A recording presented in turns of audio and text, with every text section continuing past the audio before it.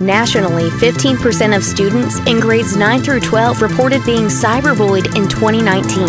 Does your child hide their digital device when others are near, delete and then create new social media accounts? Have they become withdrawn and avoid social situations? What can you do? Communicate with your kids. Document the harmful content. Report it to the social media platform or the authorities. Obtain additional support through mental health professionals. For more information, visit stopbullying.gov.